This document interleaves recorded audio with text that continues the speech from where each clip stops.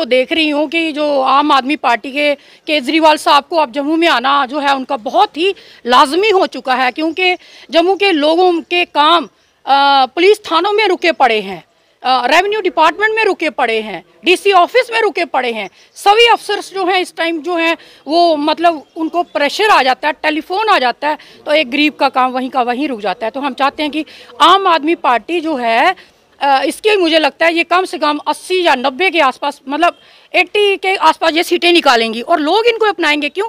लोग क्यों अपनाएँगे? क्योंकि जनता दुखी हो गई है।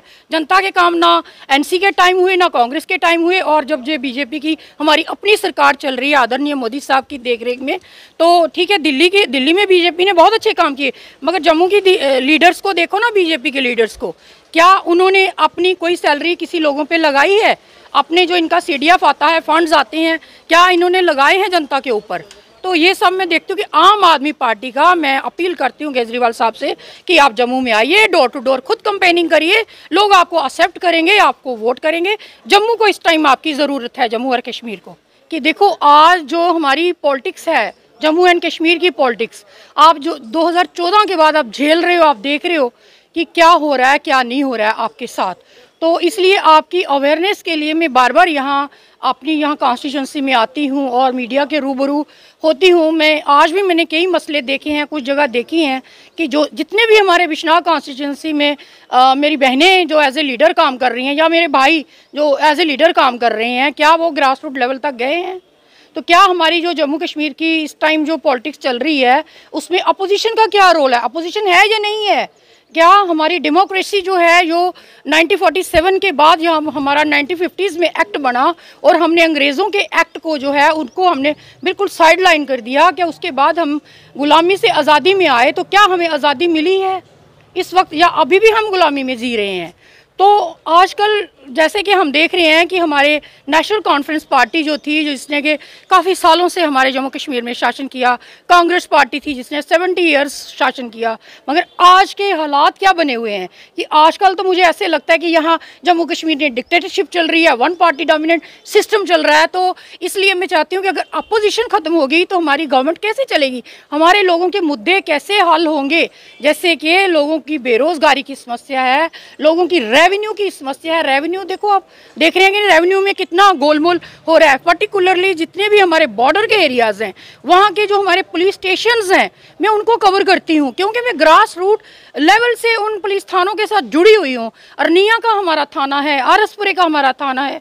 बिश्ना का थाना है, या अरनिया का आरसपुरे का रेवेन्यू डिपार्टमेंट है बिश्ना का रेवेन्यू डिपार्टमेंट है।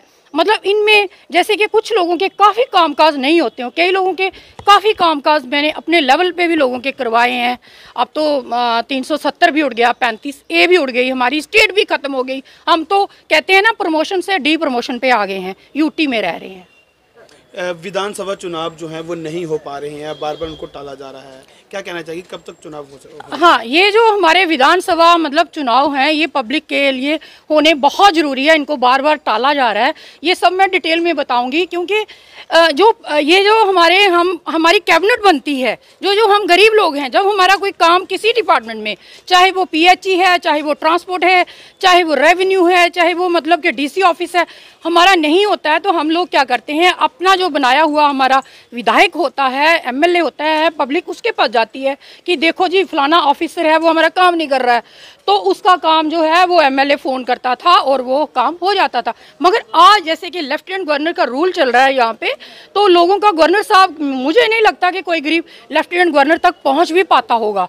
उन, उनके पास पहुँचने के लिए पहले उसको पंद्रह दिन, एक महीना तो उसको मतलब वो डीसी ऑफ़िस के चक्कर लगाने पड़ेंगे। अपॉइंटमेंट्स के लिए। तो इसलिए मैं खुद इन मतलब जितनी भी ये मुश्किल आते हैं, उनमें से निकल रही हूँ, उजर रही हूँ। इतना एक्सपीरियंस लाइफ में गेन कर रही हूँ कि जब तक ये इलेक्शन नहीं होगी, हमारी कैबिनेट नहीं बनेगी, हमारी सरकार नहीं बनेगी, हमारा अपना चीफ मिनिस्टर नहीं होगा, तब तक हमारे काम जो है वो नहीं होंगे। बिल्कुल ऐसे ही पड़े रहेंगे। तो मैम, आम आदमी पार्टी भी अपना सिर निकाल रही है जम्मू कश्मीर में। आप देख रहे हैं, आए दिन लोग जो है वो ज्वाइन कर रहे हैं। क्या लगता है कि जम्मू कश्मीर में भी आम आदमी पार्टी का कुछ स्तर बन सकता है? हाँ हाँ मुझे तो यही लगता है, क्योंकि मैं देख रही हूँ कि यहाँ डिक्टेटरशिप चल रही है वन पार्टी डोमिनेंट सिस्टम चल रहा है। जब तक अपोजिशन नहीं होगी हम आज़ादी में जी रहे हैं अपोजिशन नहीं होगी तब तक जो है वो सरकार का गठन होना बहुत ही आ, मुश्किल हो जाता है। तो आम आदमी पार्टी का जो मैं सोशल मीडिया के थ्रू देख रही हूँ अभी के मेरा उनके साथ कोई इतनी जान पहचान नहीं है। मगर केजरीवाल को तो मतलब पूरा वर्ल्ड जानता है पूरा हिंदुस्तान जानता है जैसे उन्होंने दिल्ली में काम किया। पिछले दस साल में एक ही कुर्सी पर बैठे रहना ये कोई आसान बात नहीं है। उन्होंने काम किए हैं तो पब्लिक दिल्ली की बार बार उनको बना रही है ना। उन्होंने स्कूलों की मैं देख रही हूँ हालत कितनी गवर्नमेंट स्कूल्स की हालत सुधार रही है। डोर टू डोर उन्होंने मेडिकल के सेंटर्स बनाए हैं। हर मतलब काम में वो आगे निकल रहे हैं। तो अब वो पंजाब में भी उन्होंने वही जो है उनकी वेव जो है पंजाबियों ने भी उनको अपना लिया है। लगता है जम्मू कश्मीर में भी आम आदमी पार्टी को सीटें मिल पाएँगी? हाँ मुझे तो यहाँ तक मेरा ब्रेन और मेरा माइंड और मैं जो देख रही हूँ कि जो आम आदमी पार्टी के केजरीवाल साहब को अब जम्मू में आना जो है उनका बहुत ही लाजमी हो चुका है। क्योंकि जम्मू के लोगों के काम पुलिस थानों में रुके पड़े हैं। रेवेन्यू डिपार्टमेंट में रुके पड़े हैं। डीसी ऑफ़िस में रुके पड़े हैं। सभी अफसर्स जो हैं इस टाइम जो हैं, वो मतलब उनको प्रेशर आ जाता है टेलीफोन आ जाता है तो एक गरीब का काम वहीं का वहीं रुक जाता है। तो हम चाहते हैं कि आम आदमी पार्टी जो है इसके मुझे लगता है ये कम से कम 80 या 90 के आसपास मतलब 80 के आसपास ये सीटें निकालेंगी और लोग इनको अपनाएँगे। क्यों? लोग क्यों अपनाएँगे? क्योंकि जनता दुखी हो गई है। जनता के काम ना एनसी के टाइम हुए, ना कांग्रेस के टाइम हुए और जब जो बीजेपी की हमारी अपनी सरकार चल रही है, आदरणीय मोदी साहब की देखरेख में तो ठीक है, दिल्ली की, दिल्ली में बीजेपी ने बहुत अच्छे काम किए, मगर जम्मू की लीडर्स को देखो ना बीजेपी के लीडर्स को। क्या उन्होंने अपनी कोई सैलरी किसी लोगों पर लगाई है?